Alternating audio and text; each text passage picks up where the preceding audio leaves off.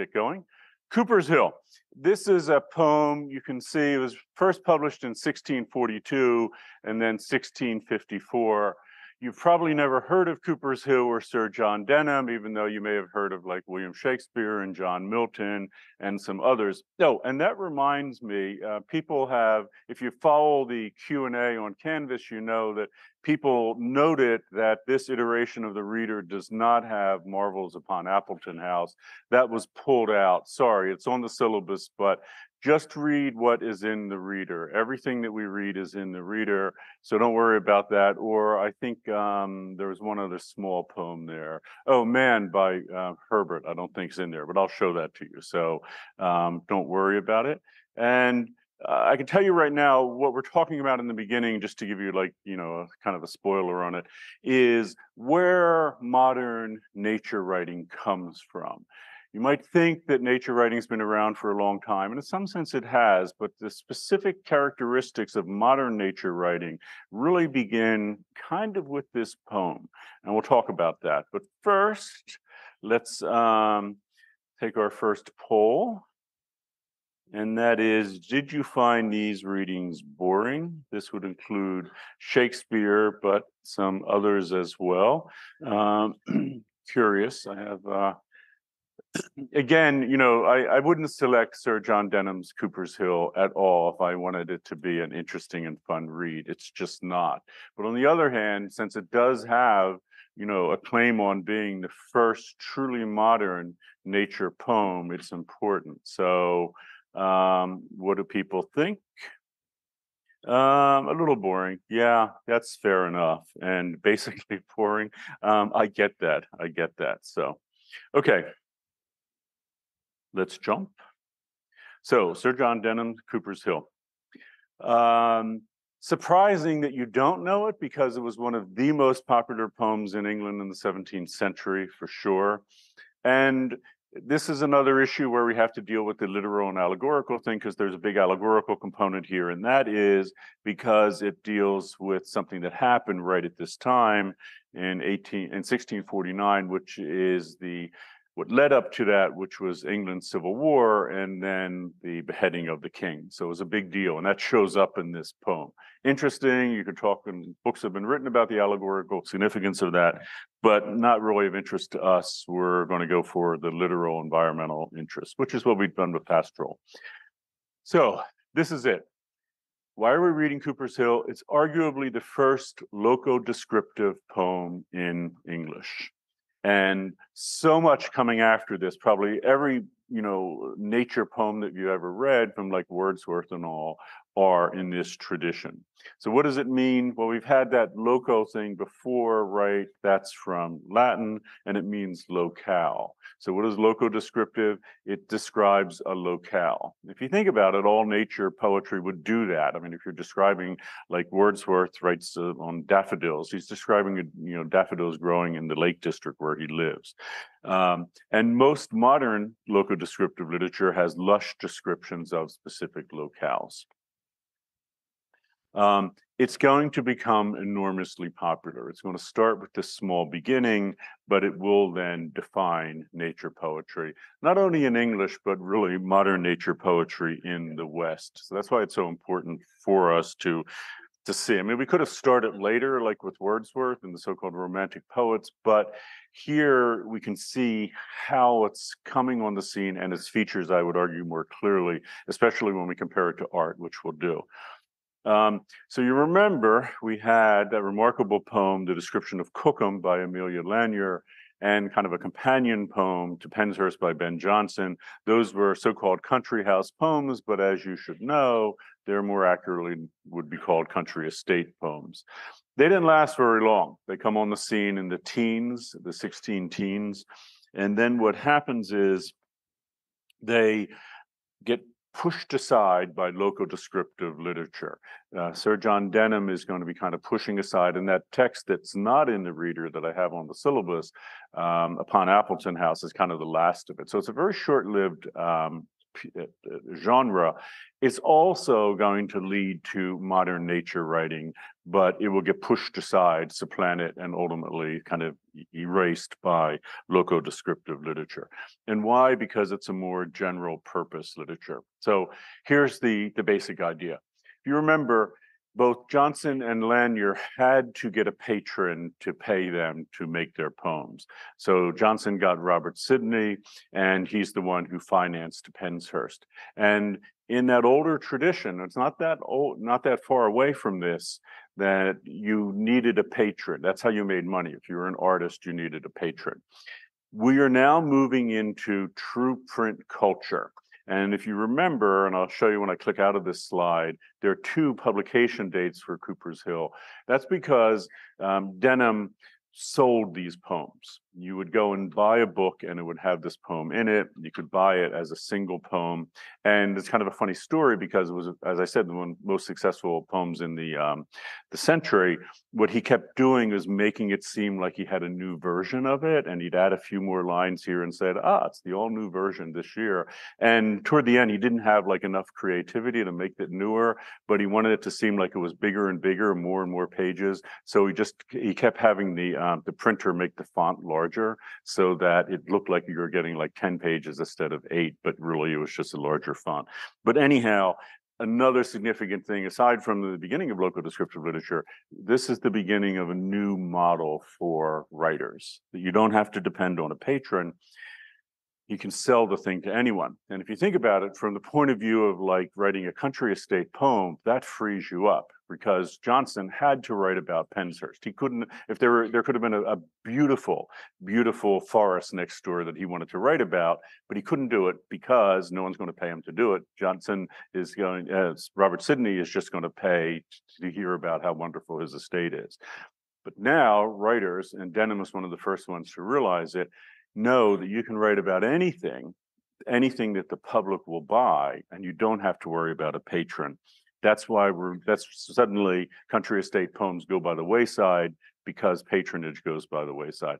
And here you can see the two dates, 1642 and 1654, two major printings of it, but there um, were a number in between. Um, it is loco descriptive literature, kind of like country estate poems are a form of pastoral. We've been dealing with pastoral for a number of lectures now.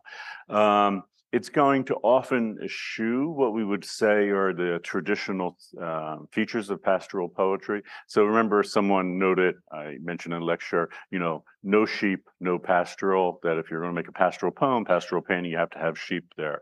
Well, we're not going to have sheep anymore, uh, sometimes, but um, it's still going to be about nature, it's about wilderness, it's about landscape. Um, and it's still going to principally focus on the landscape, which is interesting. And when we look at paintings, which we'll do in a few minutes here, you can see why this shift is a big deal, shifting away from anthropocentric issues of people toward the landscape itself. So um, it gestures this poem to a variety of environments. And just to be clear, and this is this is a great question for the final exam, I guess. Um, it's called a hill poem. This inaugurates a species of poem called a hill poem, just the way the description of Cookham and Penshurst created something called the country house, a more accurately country estate poem. This creates a genre called hill poems. And the interesting thing is, it's not what you would think about the hill itself. So you might think if you're writing about a hill, you have someone or painting the hill or whatever, you have someone at the bottom of the hill looking at it, talking about the hill. That's not what this means.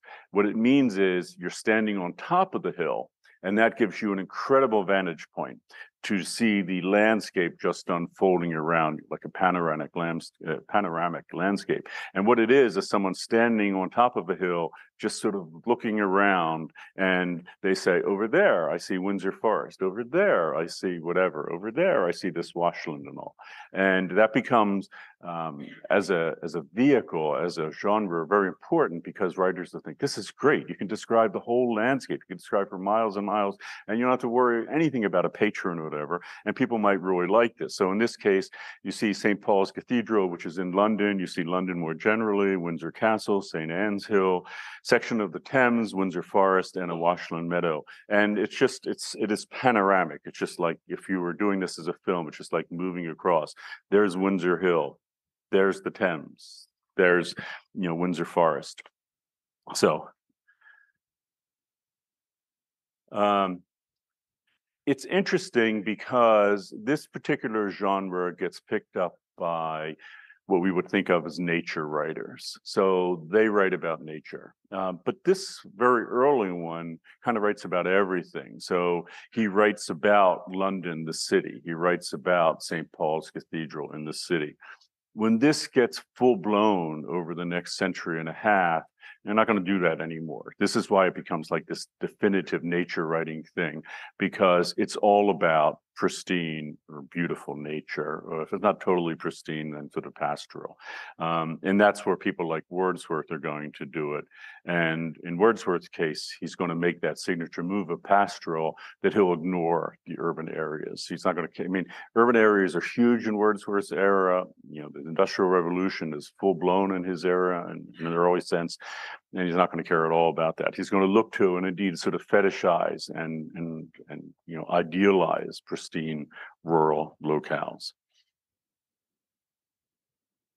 So this is actually the view from Cooper's Hill at the time this etching was made. So here you can see Windsor Castle. And if you look back here, you can actually see that says London is far in the distance there. Um, it's interesting. It says something about the um, the 20th and 21st century that you can still visit Cooper's Hill, you can still see Windsor Castle, but you cannot see London because London, even today, after it cleaned up a lot of its air pollution after that horrible occurrence I told you in the 1950s, it still has a cloud of smoke there. And Denham talks about that smoke being there. But the interesting little trivia is people went up to Windsor Hill during COVID and you could see it um, because the air pollution was just that much lower because people weren't driving anywhere near as much and it was visible again for the first time. Um, yep. So it did inaugurate this um, hill genre. And again, you're here with the speaker or the painter or whatever kind of artist on the top of a hill looking out and around and if you this this picture is fine, but it should have actually extended way over here because there's just a lot more that um, Denham draws attention to, or gestures to here. Yep. Um, perhaps not surprisingly, loco-descriptive literature is often intensely descriptive. So the, the word to think about in that combo is not so much loco, the locale, that's important, but the descriptive because you're trying to capture, like I note here between the boards of a book, um, the landscape itself. And as a consequence, it's more and more representational. And I'm going to flesh this out over the next few slides, but I'll just give you the first pass to understand it. And that is, if you if you if you have someone like Robert Sidney, um, you know, who owns this estate, you don't have to describe the estate to him. He knows it. You can just kind of like gesture to it. But now you're selling these books to anybody, anywhere. So you may be selling them to someone in London, describing something that's, you know, like um, like Shakespeare was writing about the Forest of Arden. So how do you do? So the challenge then is the person reading it has never seen the place. Robert Sidney saw the place every day, so you don't have to do anything there. But if you've never seen the place, you need to describe it really well. You need to put lavish description in so that if this were like um, if someone were reading it, you could close your eyes and imagine the place, even though you've never been there. And that's the big challenge for loco-descriptive writing and, and for the future of nature writing in um, in English and the West, really it's becoming, as a consequence, less representational and more gestural. So if you look at earlier writings, we're going to do this with painting in a little bit in the next series so you can see it. You'll see there's just not very much description there. It says over there, there's a hill, and that's it. A hill. What does that mean? It's no description. It's a big hill, small hill, it's have trees on it, it's have other plants on it, it's have animals, the people live there. Who knows? Just a hill. But if, and increasingly though, now we're going to see um, more mimesis, which is the word I use here. That's a literary term. It's the Greek word for representation. And description and representation in this context are kind of the same. And it just means that you describe more and more, more mimesis, more description. Um, you know, the earlier works, and Penshurst is a good example, and I'll give you some line by line examples in a minute. It just gestures to what's there. It doesn't describe it. So let me let me explain that. But anyhow, that's the innovation here with loco descriptive.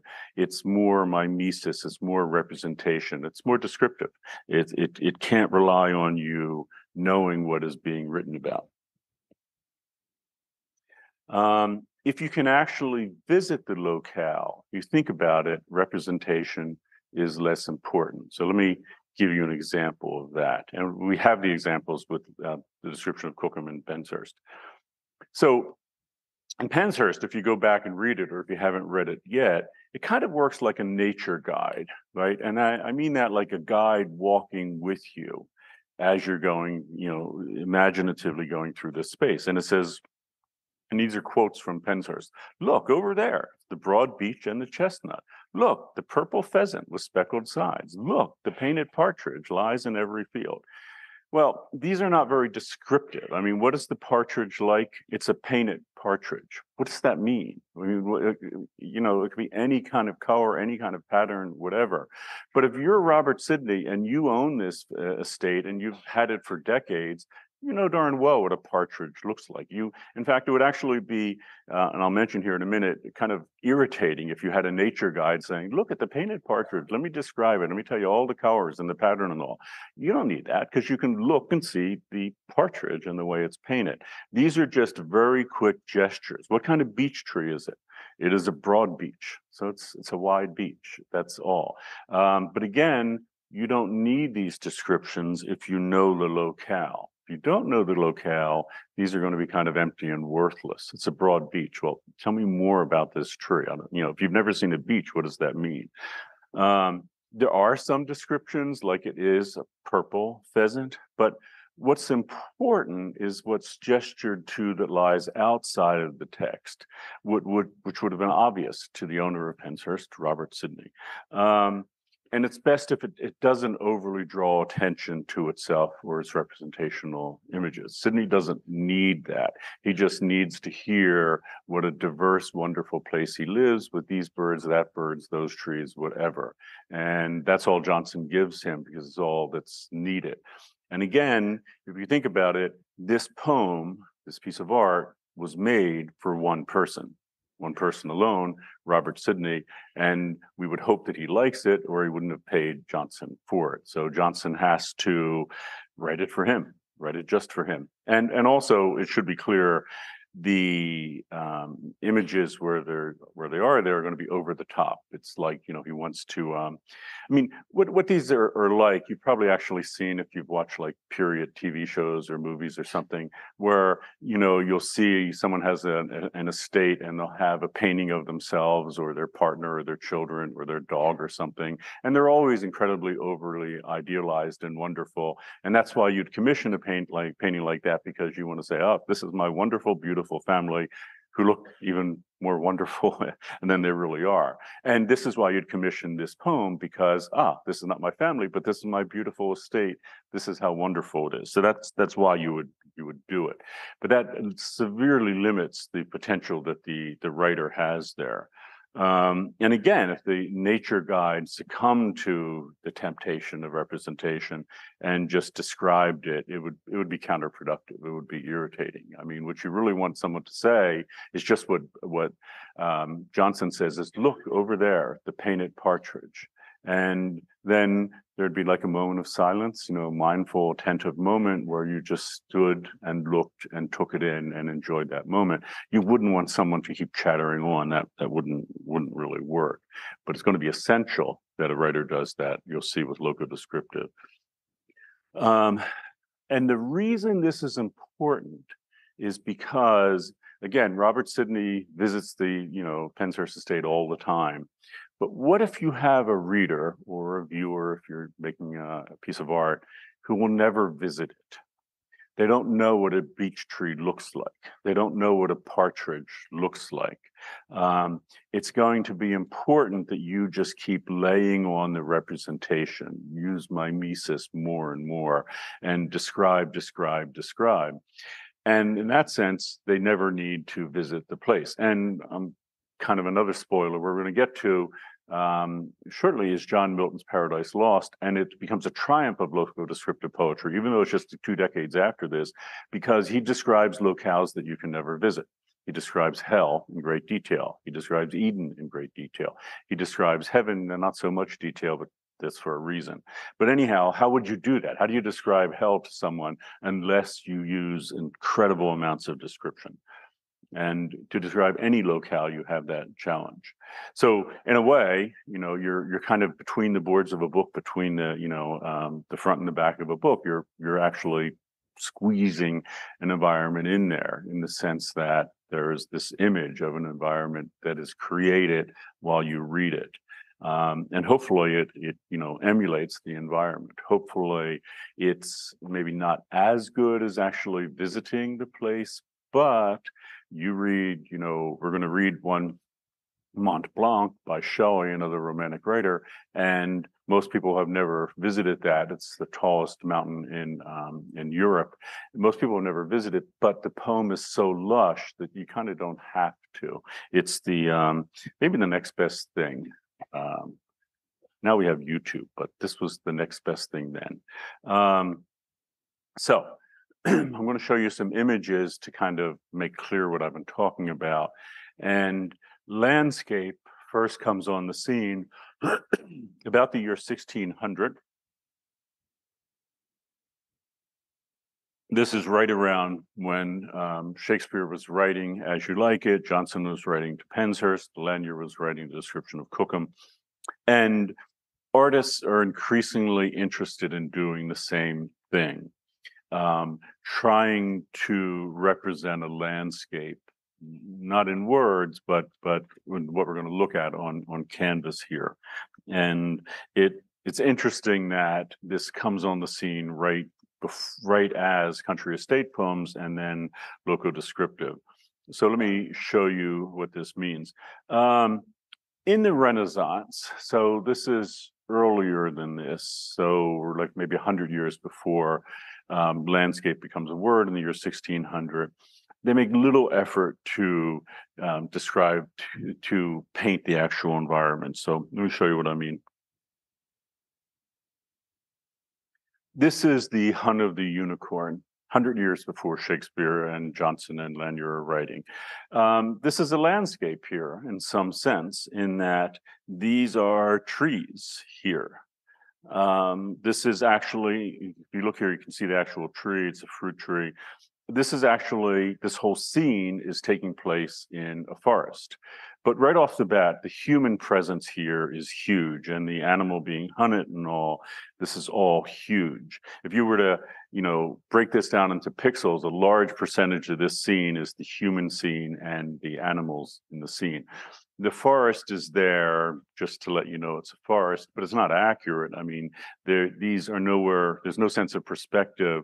There's no sense that these are huge trees. I mean, these trees should be towering above people, and yet how is it that these people are as big as trees? Simple way of putting it is, yeah, this artist didn't really care about the landscape or the environment. It was not about it. This is, in the terms that we've used, this is a thoroughly anthropocentric painting. This is a human painting about a human activity. And the landscape is there to let you know it takes place somewhere, but there's no real interest in the landscape. Remember, that's the year 1500.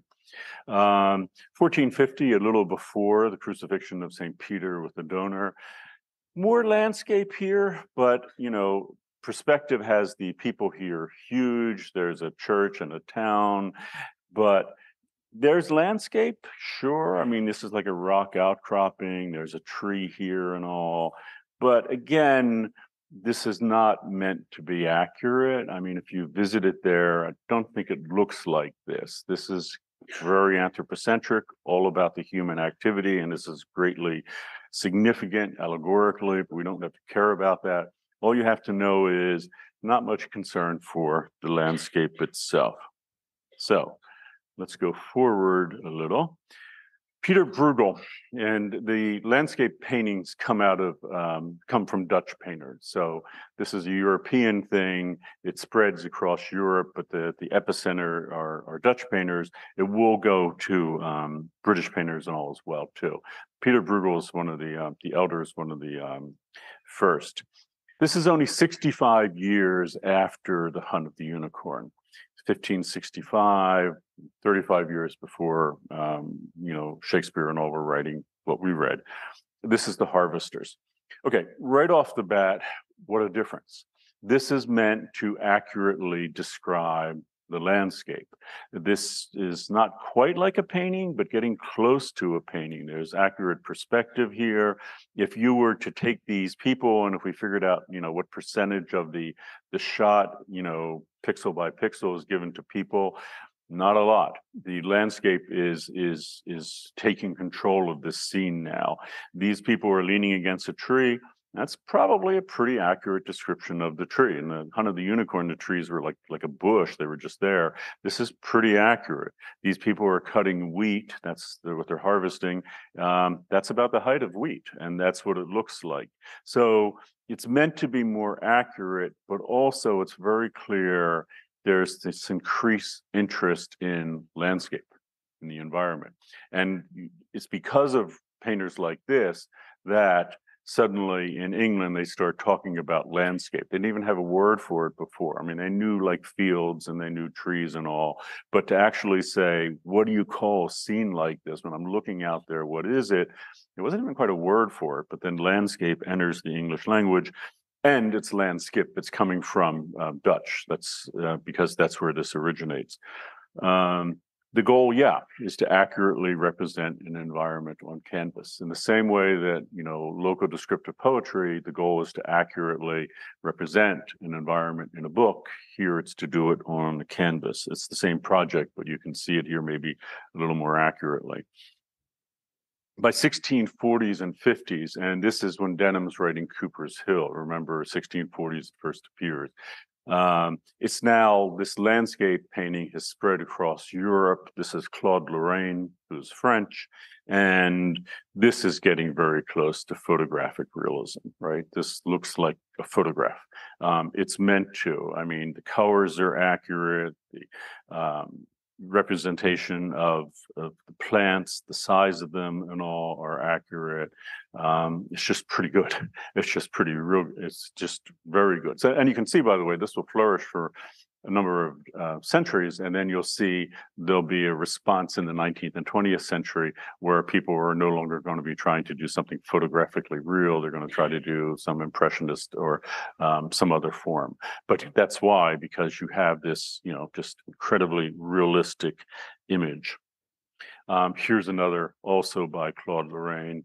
Um, again, if you look at the the people here, uh, just a very small percentage. Um, the the castle or whatever it is here adds some more human um, interest, but this is not anthropocentric as much as it seems to focus on the environment itself and and that's what we're going to see more and more and it's it, it marks a milestone because from this period on, we're going to see a greater and greater interest in the environment and its importance and preserving it and conserving it. And that will happen over the next centuries. But here's where you can just see it. Uh, it's on the scene already. Um, again, just um, note the human presence. Let me size this down a little. I can do this one too. Um, note the human presence again here. When you see it compared to these, it's just striking how it is over. This is actually from like 140, 150 years. Um, it drops down dramatically. And just, you know, imagine if you can, and we're going to see how it works, literature doing the same thing. It's, it's, it's um, trying to describe landscape and doing it as um, accurately as possible.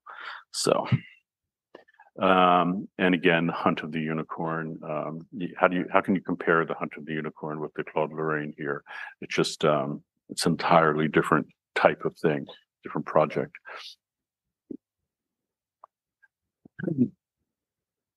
Here's the interesting thing. England is going to become more and more human centered. What I mean by that is England's a relatively small island, and England will have complete control over the island at this point. What I mean by that, not much wilderness anymore. There were some things like fens, which are like um, marshland and all, but even those, there's a concerted effort to drain those and make those into tillable land in the period. So it becomes this sort of um, example of what's going to happen with the rest of the planet with respect to the environment, and that is the whole thing is under human control humans control everything. There's no mystery about, you know, what what is in that forest or anything. It's all been mapped. It's all known. It's all controlled. It's all being used by human beings, whether it's it's not to graze animals, but actually tillable land to to farm and all, or for housing or whatever. The whole planet is the whole island is controlled.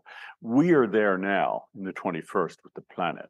But here you can see the beginning of it. And once people get control of it and there's no more wilderness, there's nothing, you know, like that, suddenly there's this sort of questioning of it. And nature poetry then is going to be celebrated more and more. It's kind of like the thing we we talked about with environmental consciousness. Like, yeah, people in Santa Barbara know they have a beach, sure.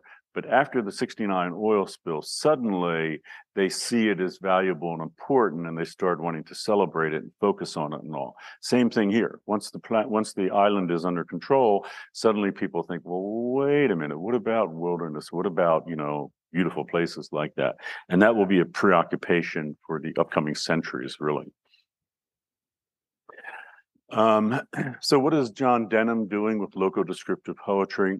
He's he's bringing to poetry, to literature, what Lorrain, Claude Lorrain, and others were doing uh, in painting, and that's creating a highly successful representation.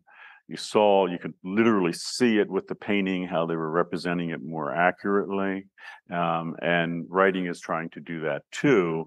And the only the, the biggest thing that writers have at their advantage. So I mean, if you think about it, painters have lots of things to their advantage. They have perspective, they can match color, they can paint like the certain time of year so it's all accurate. You do all sorts of things, but writers have one major tool in their um in, at their disposal, and that's description just describe, describe, describe in great detail. So, you know, Claude Lorrain had that scene with everything in it. Well, if you're a loco descriptive writer, you would spend pages describing that. We're not quite there yet, but it's the beginning of it. By the time we get to these people who are really fascinated with the environment, like the Romantic poets, they're going to spend pages. And you're going to see this with Henry David Thoreau when you read of Walden. He spent pages, he spent pages talking about Walden Pond. I mean, someone else would just say, you know, at Jonson's era, Penshurst era, you'd have said, there, Walden Pond. And if you knew Walden Pond, you'd know it. But this is important because one, you can describe something that no one could ever visit. But if you think about it, it gives the writer enormous power. And the reason for that is if you were, say, like a proto industrialist and you wanted to like strip all that land and get to the coal underneath, which was happening in this era, you would say, ah, it's just a field, it has some plants here and all. That would give you power because you could diminish the landscape and say it's not important, you know, the coal is important. The flip side, what these writers, what nature writers will do is celebrate it. And they will say, you know, we can't destroy this. This is something precious. And they will convince you it's precious because they're your nature guide. They're the ones explaining it to you. And you might say, well, there's just some bird over there. And they'll say, oh, no, wait, this bird is really important for all these reasons. So it does give them a lot of power and control over you, the, the reader which is something writers always have. We don't tend to think about it that much. Um,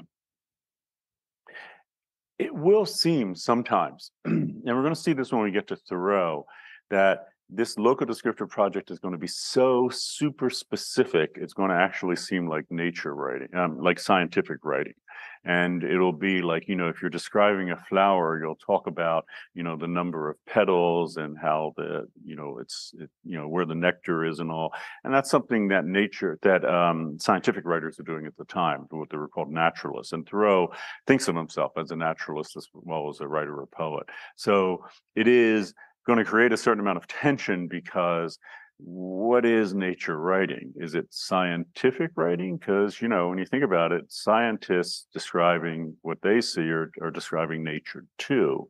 What does the writer, in the sense of the poet, the person who, who wants to, to glorify it, who wants to use that position of um, power that they have, what's the difference? And we get to Thoreau, we'll, we'll talk more about that, but just to kind of give you a, a rough idea of it. Okay, um, let's go to a little pastoral here. Um, again, with Ben Jonson plus someone named Katherine Philips. Um, next role we're taking, poll.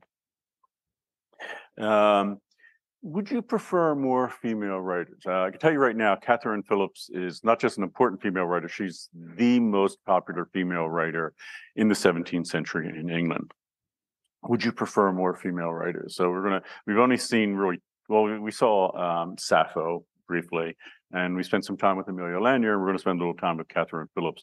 Would you like more of that? And the answer is yes, please, uh, for sure, or more would be good. And if you add those up, it's a huge amount. Um, and 14 people, 15 people don't see the need for more female writers. Um, well, in defense of that position, here's the problem. And um, so I'm, I'm, um, you know, if if I were clicking, um, I would have hit a yes, please too. The problem is that the kind of writing that we look at is important writing, not in the sense of better or more significant or more beautiful or smarter person made it or anything like that. It's just milestone things. And as it turns out, if you're looking at pastoral, you got to look at a guy, Virgil. You got to look at a guy, Theocritus. If you're looking at loco descriptive writing, you have to look at a guy, which is Sir John Denham. So that's that's why there's not more of it. But um, I, I want to make you aware that there is more and more of it coming. And the the final work that we um, that we look at, which is Silent Spring by Rachel Carson, is really um, a triumph um, of work. But anyhow, um, yeah. so Ben Jonson and Katherine Philips write something called country life poems, not country house, not country estate, country life poems. And they're translations of Horace's second epode. So Horace is basically a contemporary of Virgil. He's back at the um, right before the Christian era is inaugurated. And we, I could have had Virgil's um, um, second epode then, but I wanted to give it to you now, even though kind of we're going to be looking at a, a, a Roman poem here, but its significance is um, how it's represented at the time. So Horace, contemporary of Virgil, um, the second epode seemingly begins as a celebration, it, it, does begin as a celebration of simple country life, imagined as a literal golden age. So we've had this before, right? Pastoral um, and does the same as like Eden or the golden age. It's a celebration of how wonderful life is in the country. And this these four lines are the opening lines of the epode the poem. Happy the man who, far from all business cares, like the pristine race of mortals, works his ancestral acres with his steers from all money lending free. So happy, this actually will sometimes be called happy man literature because it talks about happiness. So there's a lot of talk about happiness in the 21st, like why it's important, how to be happy. Um, uh, Horace had the idea here too. How do you be happy? You go live in a country like this, free of business cares. You don't worry about money and all that. You're like the pristine race of mortals. He's calling out the golden age. You're like the golden race, which we saw in um, Theocritus. You know, what are you doing? How do you spend your days? You're working your ancestral acres with your steers. So you're you're not quite like totally pastoral. You're you're working the land in kind of a georgic way, but you're not into business or anything. You're just into living that wonderful life in the country. So if you just read the beginning of this, you would think this is classic pastoral. This is not surprising. Horace and Virgil are writing at the same time, but it he's got a, a surprise here for us. Um, the ending reveals that it is a constructed poem. So let me just read the ending. So you saw the beginning, there's a bunch of lines in the middle, which you'll read. The ending then is when the money lender Alpheus had uttered this. So you know now who is saying this story. It's Alpheus. Who is he? He's a money lender, he's a banker. At the very point of beginning the farmer's life, he called on all his funds by the end of the month, and the next month thinks to put them out again. So what Horace is doing here is revealing to the reader what we've talked about in this class, and that is pastoral is an urban art form. This those opening lines sound like a guy living out in the um, you know uh, country and loving it, but this was all imagined by an urban person, a banker named Alpheus, who thinks, I'm going to go live in the country and it's going to be wonderful and I'll be free of money lending and all the business stuff. And he's just about ready to begin the farmer's life. This poem is about it. And then he calls in all his funds. He's getting all his money together. He's going out to the country, and then he thinks, "Nah, I won't do that." And he uh, puts out his money again to make money for it. So what what Horace is revealing here is what we now know that one, pastoral is an urban form, and two, that it's a highly idealized version of the countryside from the position of the city, and in this particular place. And he does it in such a wonderful way, um, because if you read it, you read the poem, read the poem, read the poem. It's like getting to one of Shakespeare's sonnets. You get to the last two lines, and the whole thing is, is you know turned upside down for you. The whole thing gets turned upside down, and he's you know, at a time when people were writing pastoral like Virgil, he's saying, yeah, but don't be silly. This is all just a, made up thing by people in the city um, like Alpheus, you know, imagining what they want. Anyhow, in the early modern period, this particular poem has an interesting history. So, um, well, first off, like Ovid and and Virgil, you know, Horace knows that you know um, the golden age thing is just a fantasy. He's fully aware that the countryside is not a locus amoenus and that it's culturally constructed. Um, something that we know today, but it's just provocative to think that even in one of its heights of flourishing, like with Virgil, that this was known. Um, and you know, Horace just um, could have just written a tract on this, I suppose, but he he makes it into a very funny poem. Um, Ben Jonson, who we are just talking about, who, who writes to Penshurst, um, he does a translation of Horace's second epode. Here's the interesting line by line, it's incredibly literal. He has that ending, and it's just you know it's it's if you if you went to the library and you got a translation of the of the Latin today Jonson's is probably going to look pretty similar if you're trying to do a, um, a line by line translation. So Jonson doesn't see any need to change anything, but remember he's writing at the very beginning of the 17th century, um, and it's literal. So Catherine Phillips in 1667, um, right about the same time Paradise Lost is published, she does her own translation of this and she provides highly stylized version, and she leaves off the ending. And she, if you think about it, if you don't have those lines at the end, it's going to seem like this is just a celebration of country life and how wonderful country life is, and is not going to reveal that it's a parody. Her translation did not reveal that. So let me explain why by telling you a little bit about Katherine Philips. So um, yeah, full stop. She was the most popular woman writer in 17th century England. We don't really hear much of her about her today, and that says something. Um, yeah, you know, about the way the patriarchy works, in the sense that these writers who were even at the time important were forgotten by scholars who were mostly men who focused on people like Shakespeare and Jonson and um, Herbert and Milton. And it's unfortunate because they've really erased her from history, and it's only recently that principally feminist scholars revived her. Um, but it is interesting because as a woman writing at the time, she was very careful about what she wrote, and we're going to see that with her translation of Horace, in that it was not threatening or um, um, frightening in a way.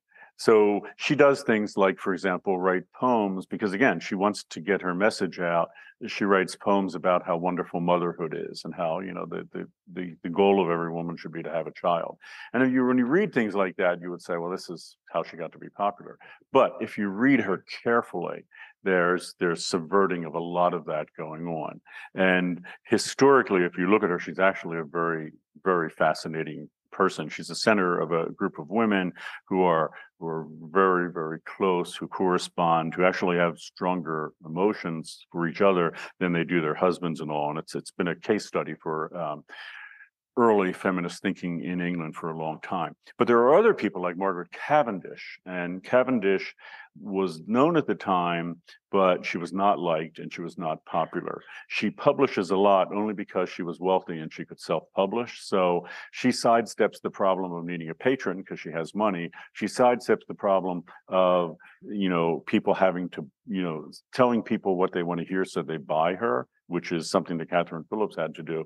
Margaret Cavendish just writes what she wants, and she's remarkable. And um, people have many people have commented on her actually over the centuries, but you could see the difficulty of a woman writing at this time. If you just wrote what you wanted to do, like with Cavendish, people would actually say of Cavendish that she was something wrong with her, that she was, you know, crazy, and that was the only way they could could could figure out someone like her.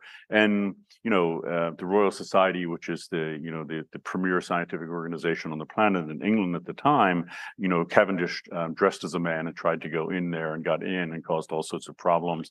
And she was just very much in your face. And I, I put her as a counterpoint because Katherine Philips was not in your face. That's what she did.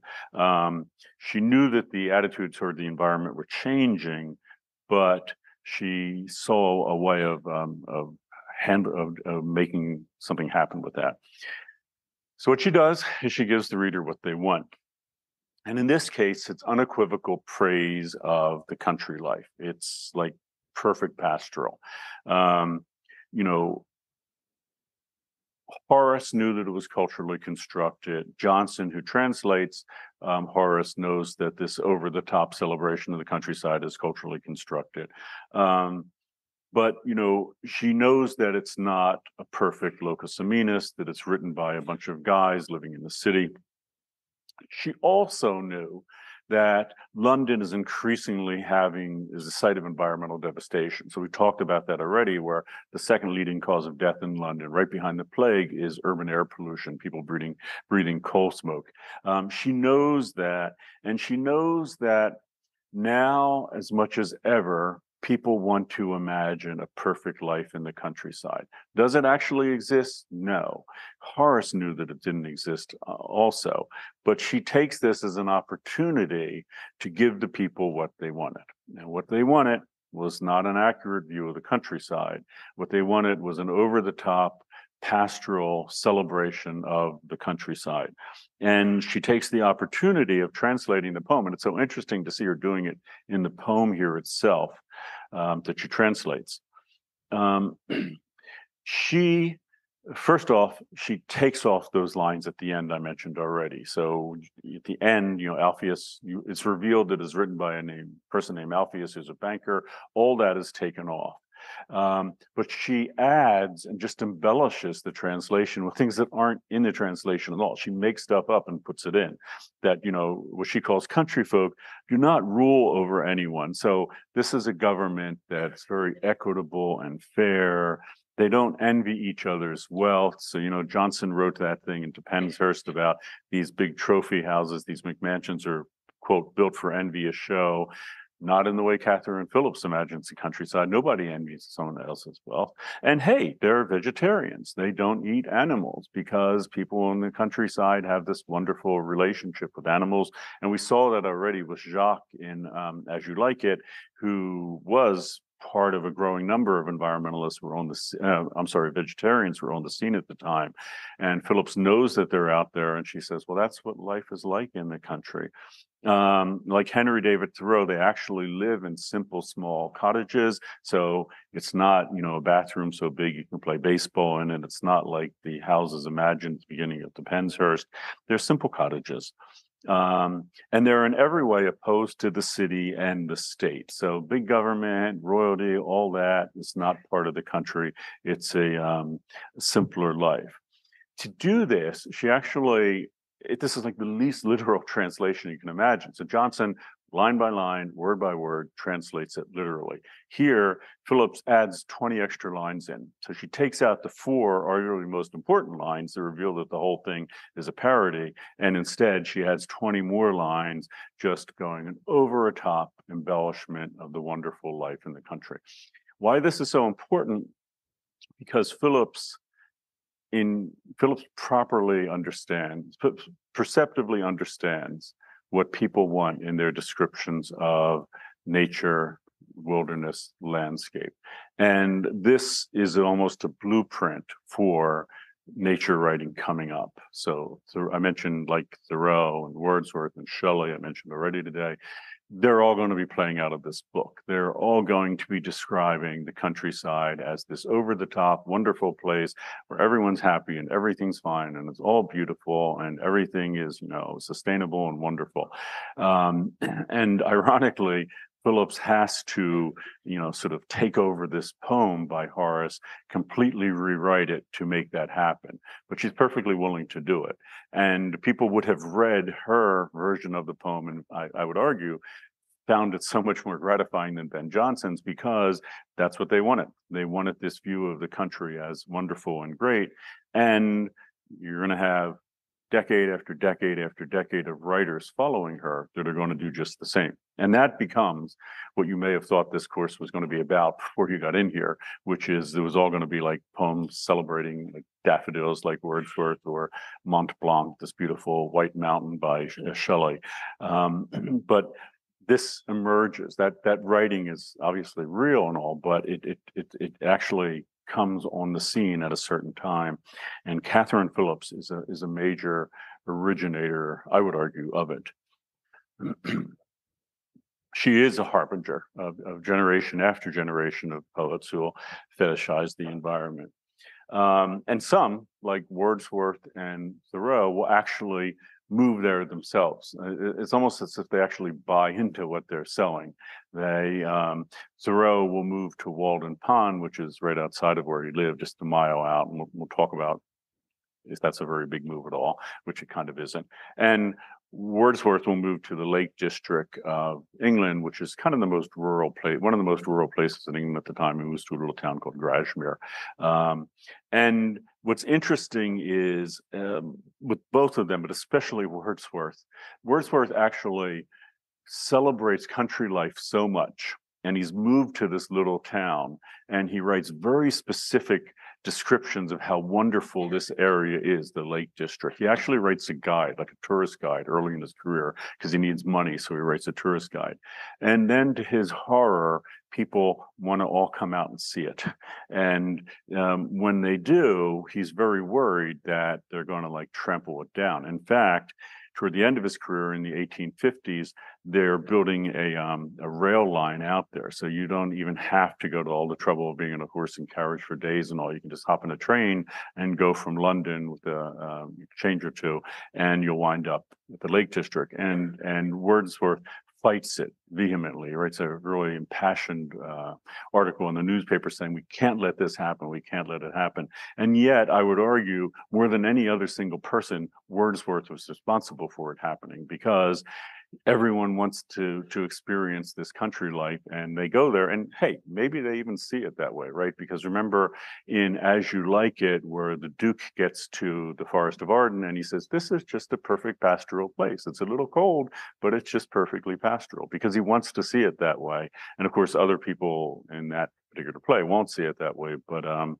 that is the danger of of celebrating wilderness in the sense that people actually want to go there.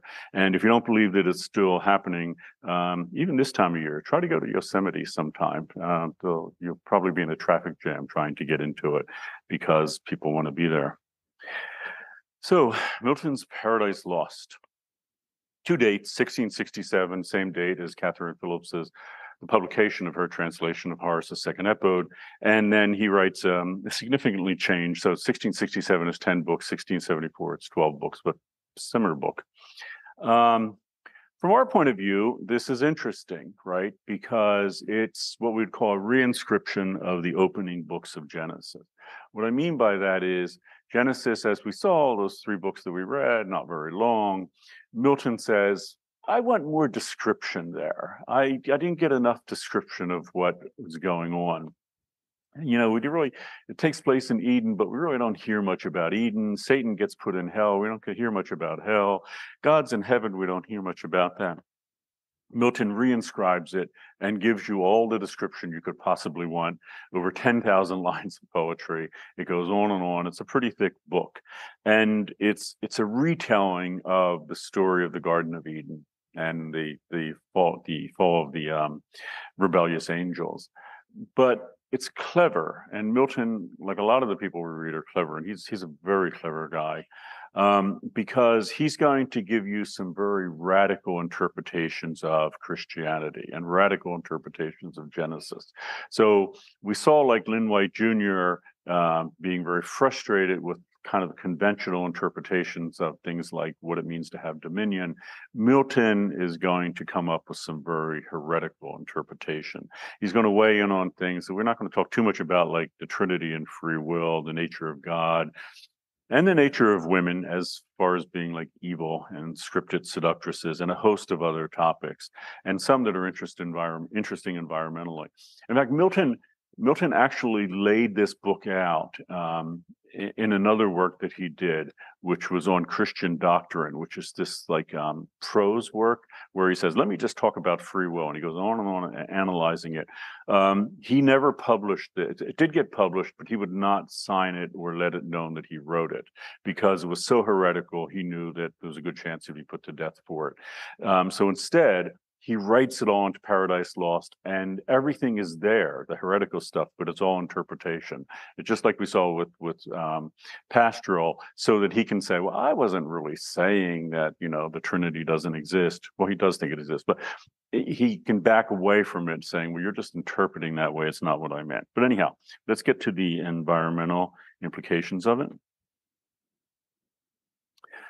Um, Eden is a locus amoenus but it's unusual right off the bat because Adam and Eve garden there. So you might remember in Genesis 3 17 to 19, we had Adam's punishment for the fall, and that would be that he has to do labor, like hard labor, the sort of Georgic labor of tending to um, the earth. And you know, nothing's going to be given to you freely the way it was beforehand, according to um, to Genesis or the conventional interpretation of Genesis. But Milton says, yeah, I don't buy that because it's not in Genesis. I think Adam and Eve were actually in the garden for a while, and I think that God wanted them to take care of the garden. So if you read through it, you will see them actively taking care of the garden.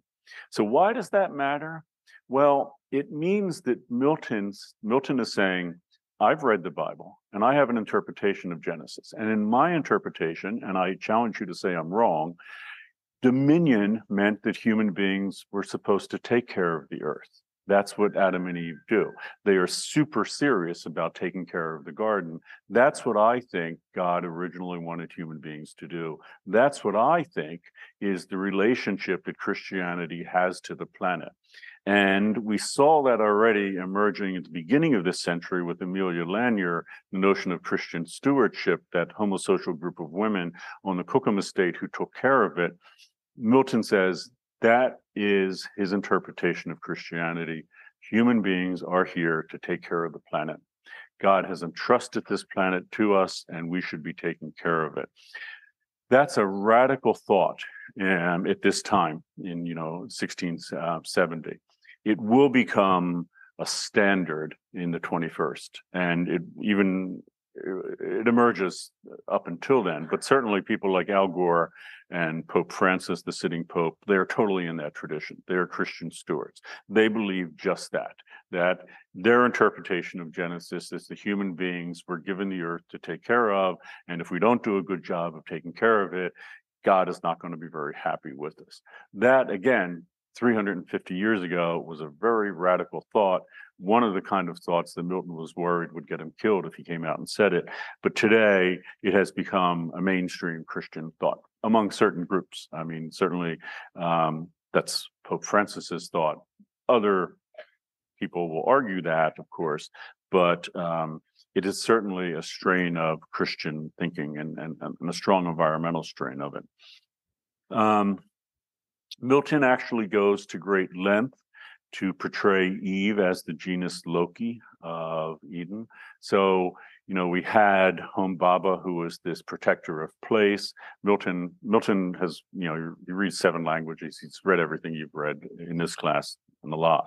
And he argues that um, he he writes Eve to be the protector of Eden. And that's interesting right off the bat because he doesn't write Adam and Eve. And Adam is actually kind of adult here, and Milton is going to play up that Eve is um, is basically the brighter of the two, and he's going to completely rewrite. We're not dealing with it here because it's environmental class, but um, the notion that, for example, in Christianity, that women in the form of Eve or the problem that they're seductresses and all, and the fall is all caused by sex in some way. Milton doesn't buy that. So his interpretation, and he, he writes it very cleverly, he has them before the fall having sex a lot. And right off the bat, you would say, well, then sex couldn't have caused the fall because they're having sex already. The fall must have been caused by something else. Sex is not a sin, not a horrible thing, the way people are saying, but rather something that God intended. Um, that's a provocative thought too that would would get Milton in trouble, no doubt. But anyhow, Eve also, in addition to you know Milton um, getting her off the hook for that very you know um, misogynistic interpretation that had been in place for many hundreds of years. He also has her taking care of the garden. She nurses the plants. She takes care of the place. Um, she's very worried about things that could happen at night to the garden. Every morning she gets up specifically very early because she wants to take care of the garden. She's like the ultimate conscientious person. So God said, We're going to take care of this place.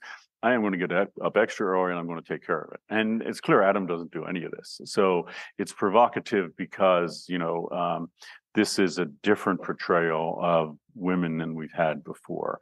And she is also, we talked about dualism, you know, like being preoccupied with the celestial, you know, metaphysical realm. Um, Eve is preoccupied equally with both. Milton Milton goes to great lengths to to sort of underscore that. So yeah, does she care about, you know, this basic Christian thing of a metaphysical realm? Sure. But she cares as much about the earth easily. Her preoccupation is with the earth. And we're going to get to that in a minute with dualistic thinking. Um, so remember that Lynn White Jr. and others have argued that Christianity is inherently dualistic, right? We had that during was it lecture five, where I had that line across the um, the screen the whole time, and there's the physical realm down below, which is not as good in the metaphysical realm, and Christianity saw that's the way the universe is constructed, and human beings are the the one creature that is between the two, right? We have a physical body, but we sort of pop out of that body as a soul and go up into heaven.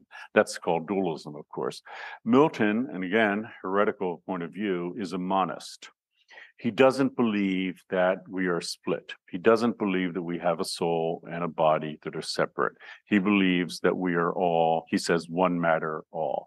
Um, and, you know, um, to Milton, you know, he, he even goes further in saying, not only are human beings one thing, body and, and spirit combined, but so is heaven and earth, or at least it originally was before the fall.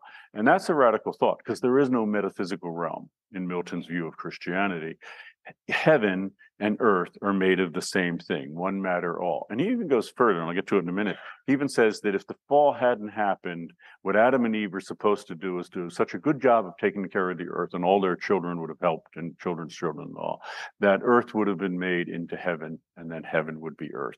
There'd be no longer a distinction between the two. So it's it's a radical, um, it, it really is a deconstruction of metaphysical dualism in the West, and it's one of the earliest and most um, complete.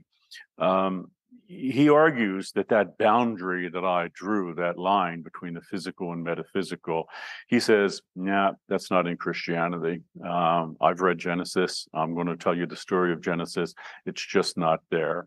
And he goes right out and says, in other works, that's from Greek and Roman thinking. You know, people that we've idolized, like you know Socrates and Plato, which at the time would have been idolized. He says, you know, they they created this problem. That's not Christianity. Christianity to Milton is not inherently a dualistic religion.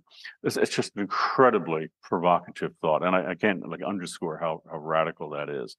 Um, so you have um, Satan in Paradise Lost in Book One. He says the mind is its own place and is itself a heaven of hell or a hell of heaven. Um, this is actually a boast of contemporary metaphysical thinkers like Rene Descartes, who would really put metaphysical dualism on the scene in a, in a, in a modern sense or, or early modern sense, and saying basically that, you know, I am separate from this place. Wherever I go, I can be separate. I am not connected to the place. The place is separate from me. Um, but he realizes, of course, that he's never separate. Wherever, which way I fly is hell, myself am hell. Um, he he scoffed at his Satan and Descartes, um, saying that the mind can pull free of the body, the earth, and indeed the entire physical realm. To him, you are always connected to the physical realm. You are always in nature. You are part of nature. You're part of the ecosystem. You you can't you can't break free of that. Um, and this is the remarkable statement. It's not like you reside in your body. So in the traditional dualistic view, you're a soul that's in the body. The body is some kind of even called a vessel. It's like a bottle. You're in the bottle, and you know you pop the cork when you die, and you go up to be with God, hopefully.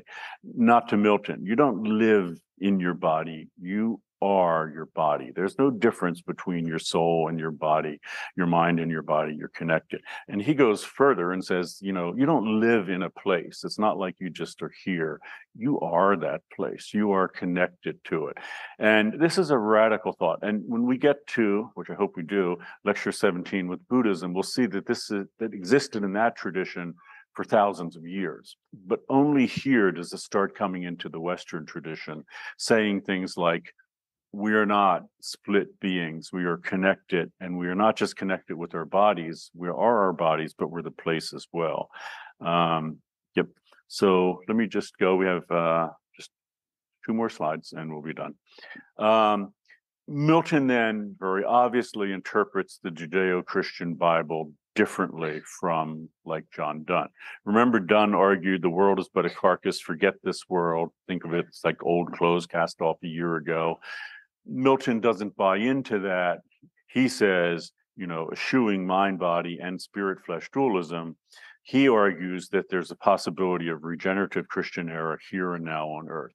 So that's a remarkable statement because remember, everyone else thought that at the fall, everything is now decaying on the planet. The only thing that can be saved at the end of time are human beings and only those that are faithful. Milton says, maybe we can regenerate this whole planet. Um, this debate continues today, and I alluded to it before. Um, John uh, James Dobson, uh, the um, person who created Focus on the Family, called on an evangelical leader to be fired because he said that climate change should be taken, you know, seriously. Um, it does raise the question of how much value we put on the earth, whether it's something we just say that doesn't matter because it's going to end at the end of time, or whether we take this notion of stewardship seriously in a Christian sense and try to save the planet and try to rebuild the planet. Um, and that, of course, is what Al Gore and Pope Francis and many others are doing. Okay, so here, this is a really uh, serious question. I'm kind of curious what you think of it. Um, do you think that the end of time is coming, coming. So millennial Christian thinkers have been thinking for a long time. Um, what will happen with climate change? Do you think we're going to be able to turn it around? We're not. I am I am really anxious to hear what you believe. Here we go, 500. Yeah, yeah. Um, whatever it's worth, I would answer B also because I'm I'm not quite sure, but let's hope so. Yeah.